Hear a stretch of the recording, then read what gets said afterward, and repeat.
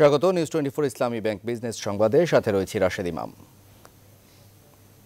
জাতীয় সংসদ নির্বাচনকে কেন্দ্র করে দেশের ব্যাংকিং ব্যবস্থা অস্থিতিশীল হয়ে উঠতে পারে এমন আশঙ্কা সংশ্লিষ্টদের। তবে আইনশৃঙ্খলা বাহিনীর কঠোর নজরদারি থাকায় অর্থ পাচার হবে না বলছেন তারা।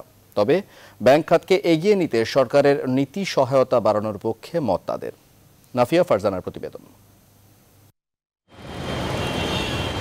সামনে জাতীয় সংসদ নির্বাচন। নির্বাচনকে কেন্দ্র করে দেশের ব্যাংকিং খাতেও লেগেছে রদবদলের ছোঁয়া। এ সময় অর্থ সরবরাহ বেড়ে যাওয়া, কালো টাকা পাচারের সম্ভাবনা বেড়ে যায়। এছাড়া চলমান রাজনৈতিক অস্থিরতার প্রভাবের কারণে বেসরকারি খাতে বিনিয়োগ কমার আশঙ্কাও থাকে। নির্বাচনের সময়টাতে ব্যাংকিং খাতে অস্থিতিশীল পরিস্থিতি সহ ব্যাংকগুলোতে মূলধন ঘাটতি হয়ে থাকে। দেশের প্রায় সব জাতীয় নির্বাচনকে ঘিরে ঋণ পুনঃতফসিলের হিরিক দেখা যায়। অনেকেই জাতীয় নির্বাচনে প্রার্থী হওয়ার জন্য নিজেকে খেলাফি মুক্ত দেখাতে ঋণ পুনঃতফসিল করে থাকেন। সব মিলিয়ে রাজনৈতিক অস্থিরতা সৃষ্টি হয়, বলেছেন সংশ্লিষ্টরা। বড় বড় ঋণ খেলাপিরাও ফাঁকফোকে নির্বাচনে চলে আসতেছে।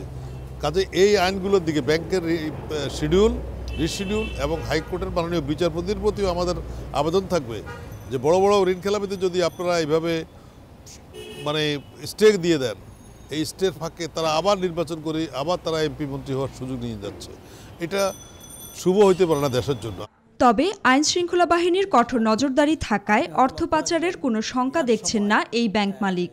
নির্বাচনের সময় অস্ত্র বিভিন্ন রকম নিষিদ্ধ জিনিসপত্র এগুলার আদান প্রদান যেন রোধ করা যায়, সেগুলোর জন্য আইনশৃঙ্খলা রক্ষা বাহিনী বিভিন্ন জায়গায় চেকপোস্ট বসায়। দু হাজার চোদ্দ এবং পনেরোর সেগুলো যদি পুনরাবৃত্তি না ঘটে, আমরা কোনো রকম নির্বাচনকালীন সময়ে তিরিশে ডিসেম্বর পর্যন্ত কোনো রকম আশঙ্কা আমি দেখছি না। নির্বাচন ইশতেহারে ব্যাংকিং খাতের গুরুত্ব বিবেচনা করবে রাজনৈতিক দলগুলো, এমন প্রত্যাশা সংশ্লিষ্টদের। Nafia Farzana, news twenty Dhaka. দীর্ঘমেয়াদী পরিকল্পনা ছিল বলেই বিদ্যুৎ উৎপাদনে এতটা ভালো করেছে বাংলাদেশ। এমনটাই মনে করেন প্রধানমন্ত্রীর জ্বালানি খাত বিষয়ক উপদেষ্টা ডক্টর তৌফিকি ইলাহি চৌধুরী। রাজধানীর বিদ্যুৎ ভবনে পাওয়ার খাতের মাস্টার প্ল্যান বিষয়ক এক কর্মশালা উদ্বোধন করতে এসে তিনি এমন মত দেন। তৌফিক ইলাহি আরও বলেন, সরকারের দীর্ঘমেয়াদী পরিকল্পনা ছিল বলেই দেশ এখন উন্নয়নশীল। সরকারের সবচেয়ে বড় সাফল্য বিদ্যুৎ উৎপাদনে উল্লেখ করে তিনি বলেন, এ যাত্রা অব্যাহত রাখতে সংশ্লিষ্টদের আরও বেশি বিচক্ষণ হতে হবে। এছাড়া, বিদ্যুৎ খাতের জন্য মাস্টার প্ল্যানকে স্বাগত জানান তিনি। বিভিন্ন সময়ের মাপকাঠিতে কী ধরনের সুযোগ সুবিধা বিদ্যুৎ এবং জ্বালানি খাতে দেশবাসীর কাছে দেওয়া সম্ভব, সেটাকে বিবেচনা করার জন্য আমি মনে করি এই পাওয়ার সেক্টর মাস্টার প্ল্যান সময় সময় হয়েছে আগে, সময় সময় রিভিজিট করার প্রয়োজন আছে। News twenty four Islami Bank business সংবাদে নিচ্ছে একটি বিরতি, সঙ্গেই থাকুন।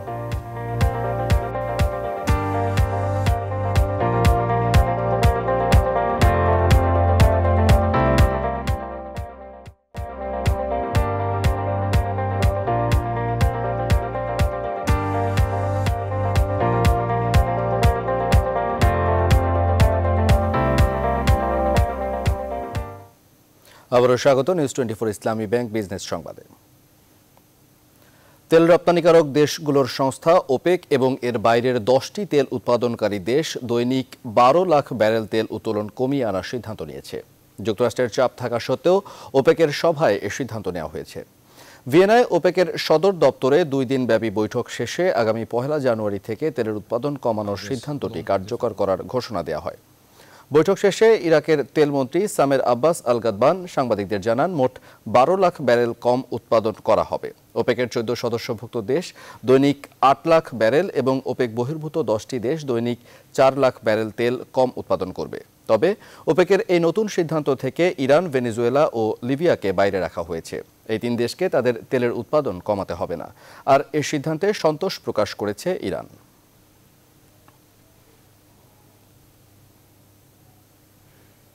এই ছিল news twenty four Islami Bank business সংবাদের এখনকার আয়োজনে। ধন্যবাদ এতক্ষণ সাথে থাকার জন্য।